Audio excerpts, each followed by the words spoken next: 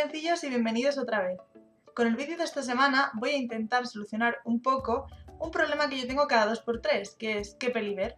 Porque estoy segura de que muchas veces os apetece ver una peli, pero por la razón que sea no encontráis una que de verdad os llame la atención. Así que yo he seleccionado 5 películas que me gustan bastante, por motivos muy diferentes, ya veréis, y que en general son películas que la gente no conoce y que a veces incluso ni siquiera han oído hablar de ellas. Así que si tenéis curiosidad y os apetece saber cuáles son las 5 películas que os quiero recomendar, no me voy a enrollar más y os dejo con ellas.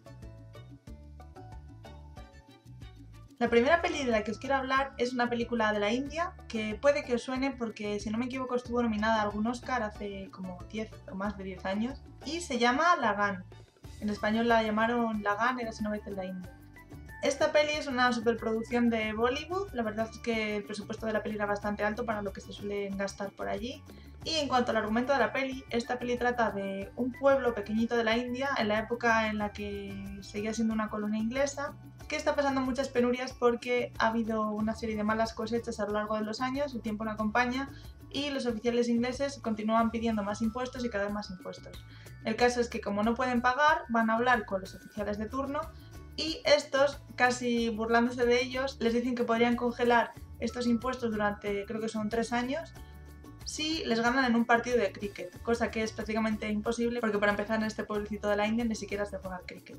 Entonces los habitantes del pueblo, como no les queda otra opción, deciden aceptar el partido y la película trata sobre cómo se van preparando para este partido, lo que pasa entre medias, las relaciones entre parte de los ingleses y los indios y demás. La verdad es que es una peli súper divertida, es bastante larga, dura bastante, pero no se hace para nada, para nada pesada. He visto por internet que la categoría en la que la ponen es drama.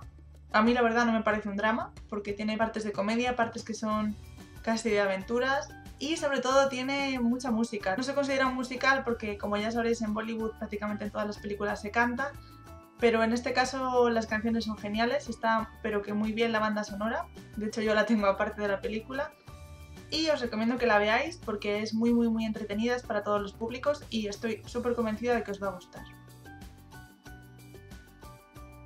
La segunda película de la que os quiero hablar se llama en español Todo está iluminado y trata sobre un chico de ascendencia judía que se embarca en una búsqueda hacia otro país, en concreto desde Estados Unidos hasta Ucrania, para intentar descubrir qué ha pasado con una mujer que durante el holocausto nazi salvó la vida de su abuelo. La historia empieza así, pero las cosas empiezan a complicarse cuando llega a Ucrania y conoce a dos personajes muy peculiares, un chico joven y su abuelo, que se encargan de hacerle prácticamente de guía. Es una peli súper súper entretenida. Tiene comedia, tiene drama y en general si os interesa el tema de los nazis, bueno, de los nazis, ¿no? Del holocausto nazi y la Segunda Guerra Mundial y demás, os va a gustar casi seguro porque también toca un poquito de ese tema. Es muy muy muy emocionante es probable si sois de lágrima fácil que lloréis al final, pero la verdad es que compensa porque os habréis pasado el resto de la película partiéndose la caja probablemente.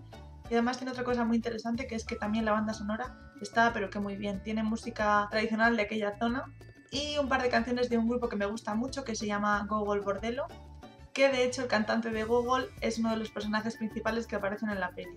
Si la veis os recomiendo que de verdad la veáis en versión original, porque hay un par de personajes que creo que si los doblan perderían muchísimo y que os van a hacer reír, pero que un montón. Para los que os guste leer, además me enteré hace poco de que la peli está basada en un libro que se llama igual que la película y que está escrita por el propio narrador contando su historia. De hecho, a lo mejor conocéis la peli o os suena por el propio libro. Yo del libro no puedo hablar porque de momento no me lo he leído, pero ya os digo que la peli está pero que muy bien y os recomiendo que la veáis. La tercera y cuarta películas de las que quiero hablar hoy son ya una cosa un poquito más rara. Las dos son japonesas y la primera se llama Kawaii Ona. En español creo que no la han traducido ni siquiera. Y en inglés la han llamado Unholy Women. Es una peli de terror japonés que está dividida en tres partes correspondientes a tres historias diferentes.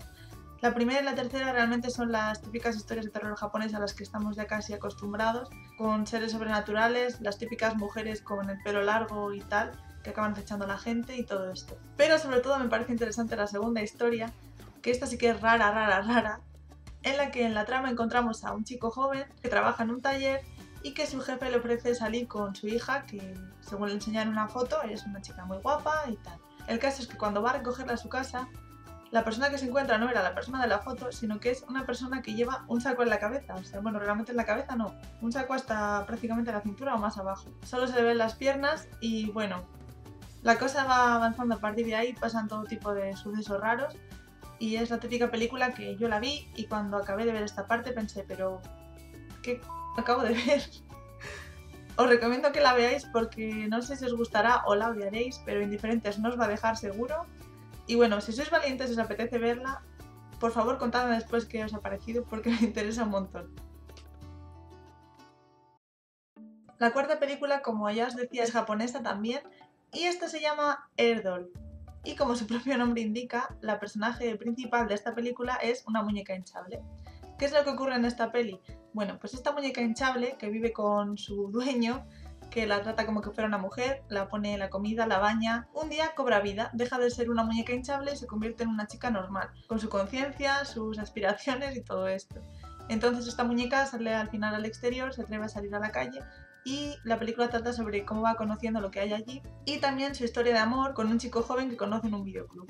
Es una película que ya solo oyendo el argumento te quedas un poco así a cuadros pensando a quién se le ha ocurrido esto. Pero está muy bien, es una peli bastante diferente a otras que podáis haber visto y además me parece que refleja bastante bien cómo puede ser la sociedad japonesa de ahora. Cuando la ves realmente te das cuenta de que aunque es un país con mucha población, hay mucha gente que se siente sola y bueno, te vale un poco para ver cómo es esa cultura tan diferente a la nuestra que en muchos momentos no vamos a entender, pero que bueno, por lo menos es interesante. Esta no sé en qué categoría meterla. Comedia desde luego tiene, es un poco también de fantasía porque ya solo viendo que la muñeca hinchable se convierte en una persona real y también en momentos es bastante dramática. Así que bueno, tiene de todo. Y por último, la última película de la que os quiero hablar es una película de República Checa que se llama Cookie Sebrachi. No se dirá así ni de coña, pero bueno, creo que en español la llamaron Cookie Regresa o Cookie Vuelve, algo así.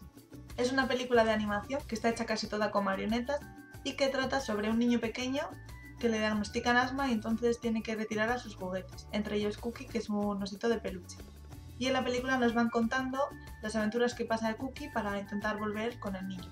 Es una peli bastante chula, tiene una estética muy muy bonita. Esta peli la crearon unos estudios de República Checa que se llama Anamanita y que yo ya conocía porque había jugado un par de juegos suyos independientes que son muy muy chulos también estéticamente.